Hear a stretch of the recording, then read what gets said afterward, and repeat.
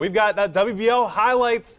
I think Defiance and Elida. So let's. Yeah, it was a those. season ago. They met at the end of the year with Dakota Mathias' 30 points, getting Elida the victory over Defiance, which wrapped up a portion of the WBL title for Elida. Tonight, Elida traveling to Defiance. Let's go to those highlights. Bulldogs with one loss, Bulldogs with no losses. Do we have the Defiance Elida highlights?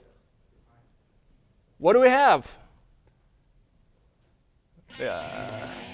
Maybe.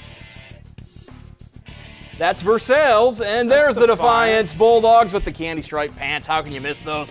Lewis Gray misses, but Marcavius Wilson is there for the putback as Elida grabs the early lead.